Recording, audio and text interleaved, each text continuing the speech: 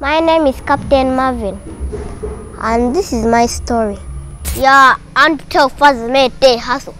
Don't hold on one day, gotta achieve. Go to work every day, papa. I am an artist. I am eight years old, and I have been singing for two years now. Uh, I started music long time ago when I was three years old. And then music came in in my mind. I started listening to music a lot. And then I came up with my own music. I told my father to take me to the studio.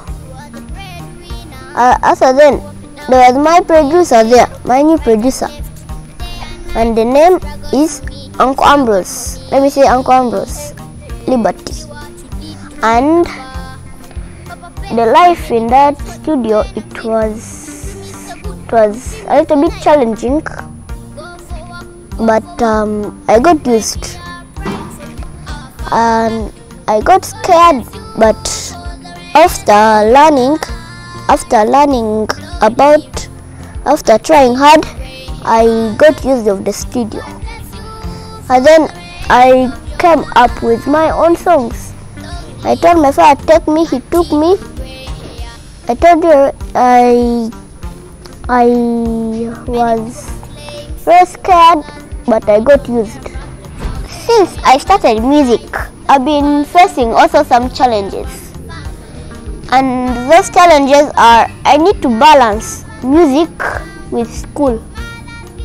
And yeah, I need to go to school because in future I want to become a pilot. So I need to also read hard to become a pilot. My first song was Mothers. Then Lockdown was the second one.